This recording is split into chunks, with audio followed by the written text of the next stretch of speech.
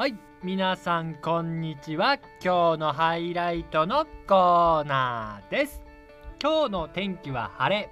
気温32度水温29度風もなくとっても穏やかな一日でした。そんな今日は黒島へ行ってきました。今日は久しぶりに波照間島まで行こうかと思ったんですがちょっとうねりが大きかったので断念しました。久しぶりにあのハテルマブルーを味わいたかったんですけどね。とは言っても黒島は黒島でとっても透明度良かったです。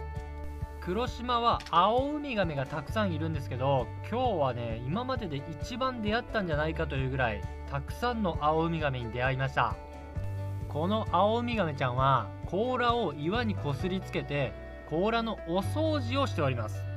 甲羅のお掃除にもってこいの岩の形ですよね。よっぽどお気に入りだったのかこの後呼吸をしに上がったんですけどまた同じところに戻ってきて甲羅のお掃除をしてました。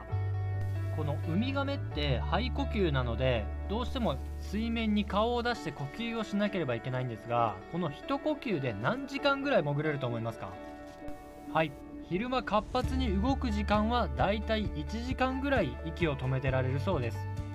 僕なんてせいぜい1分が限界ですけどね。すごいですね。他にも黒島といえばノコギリダイと赤姫路です。浅いところにたくさん群れるのでとっても綺麗です。あんまり泳ぎ回らないのでとっても写真も撮りやすいです。そして最後は砂地のポイントへ。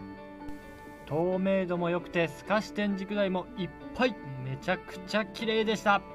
ということで今日はこの辺で。また次回もお楽しみに。